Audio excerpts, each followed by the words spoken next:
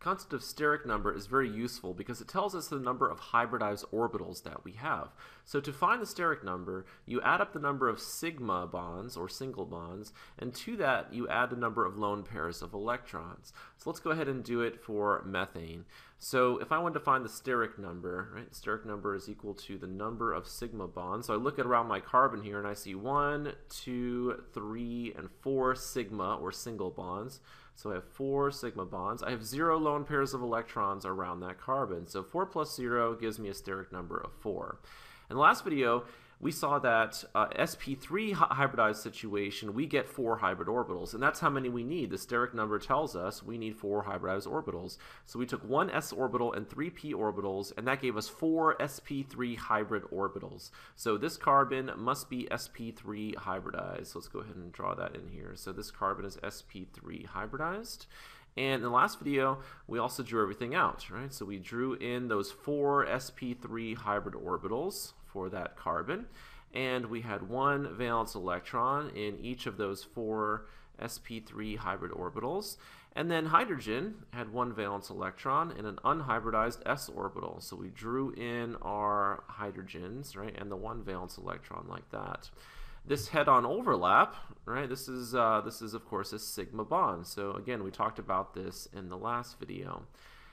And so now that we have this picture of the methane molecule, we can think about these electron pairs, right? So these electron pairs are going to repel each other, right? Like charges repel. And so the idea of VSEPR theory tells us these electron pairs are going to repel and try to get as far away from each other as they possibly can in space. And that means that the arrangement of those electron pairs ends up being tetrahedral. So let's go ahead and write that. So we have a tetrahedral arrangement of electron pairs around around our carbon like that. When we think about the molecular geometry, so that's like electron group geometry, when I think about the geometry of the entire molecule, right, I could think about uh, drawing in those, those electrons, those bonding electrons like that, right? So we have a, a, wedge coming out at us in space, a dash going away from us in space, and then these lines mean in the plane of the page. And so we can go ahead and draw in our hydrogens, and this is just one way to represent the methane molecule, which attempts to show the geometry of the entire molecule. So the arrangement of the atoms turns out to also be tetrahedral. So let's go ahead and write that. So tetrahedral. And let's see if we can see that four-sided figure. So a tetrahedron is a four-sided figure, so we can think about this being one face, right? And then let's go ahead and draw a second face. If I draw a line back here, that gives us four faces to our tetrahedron.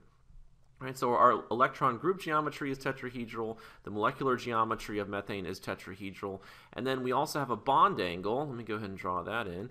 So a bond angle, this, this hydrogen-carbon-hydrogen bond angle in here is approximately 109.5 degrees. All right, let's go ahead and do the same type, type of analysis for a different molecule here. So let's do it for ammonia next. All right, so we have NH3. If I want to find the steric number, right, the steric number is equal to the number of sigma bonds. That's one, two, three. So three sigma bonds plus number of lone pairs of electrons. So I have one lone pair of electrons here. So 3 plus 1 gives me a steric number of 4. So I need four hybridized orbitals. And once again, when I have when I need four hybridized orbitals, I know that this nitrogen must be sp3 hybridized because sp3 hybridization gives us four hybrid orbitals. And so let's go ahead and draw those four hybrid orbitals. We would have nitrogen, and let's go ahead and draw in all four of those. So one, two, three, and four. Those are the four hybrid orbitals. When you're drawing the dot structure for nitrogen, right, you would have uh, one electron, another electron, another electron, and then you'd have two in this one, like that. And then you go ahead and put in your hydrogens, right? So once again, each hydrogen has one electron in an unhybridized s orbital. So we go ahead and draw in those hydrogens, right? So our overlap of orbitals, so here's a sigma bond, here's a sigma bond, and here's a sigma bond. So three sigma bonds in ammonia. And then we have this lone pair up here. So the arrangement of these electron pairs, so is, is just what we talked about before, right? So we have this tetrahedral arrangement of electron pairs or electron groups. So VSEPR theory tells us that's how they're going to repel.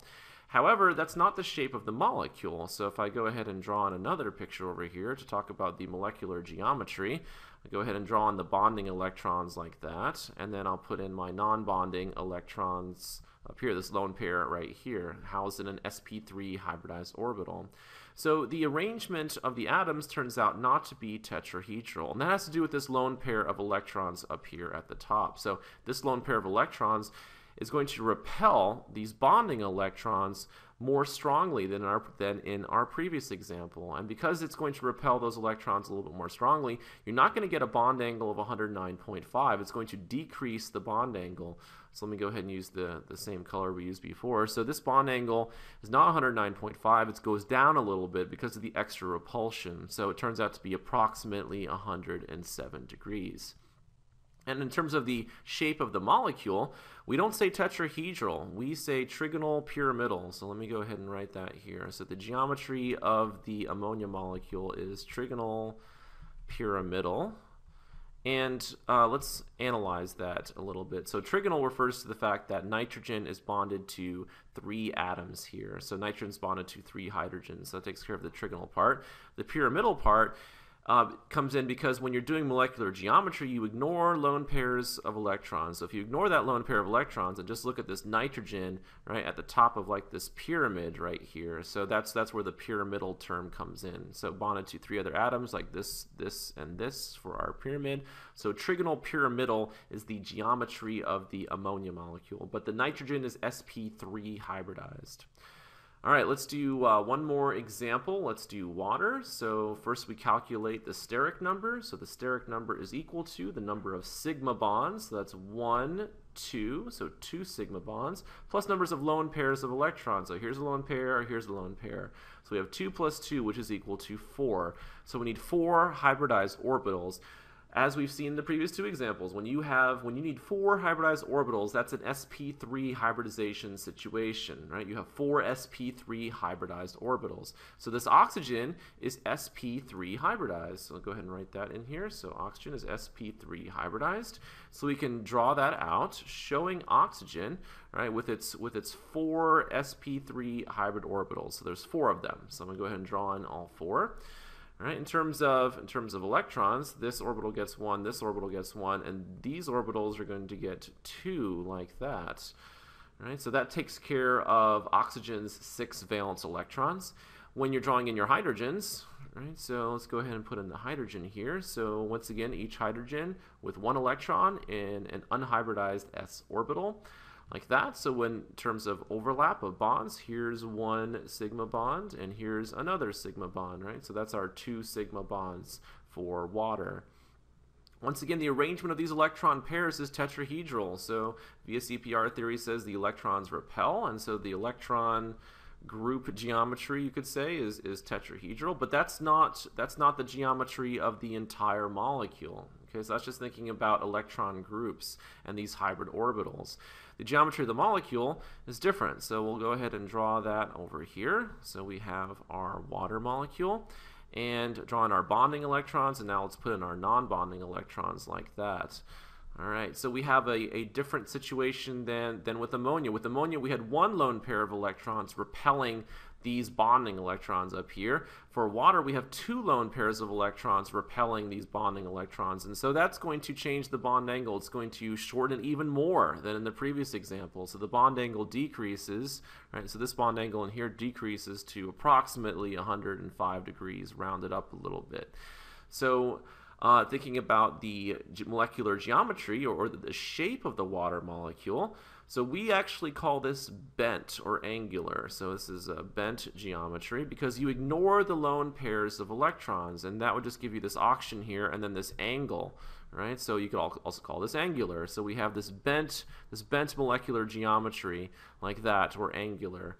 And um, and once again, for molecular geometry, ignore your lone pairs of electrons. So these are these are examples of three molecules, and the central atom in all th three of these molecules is sp3 hybridized. And so this allows us to, uh, this is one way to, to figure out your overall molecular geometry and to think about bond angles and to think about how those hybrid orbitals affect the structure of these molecules.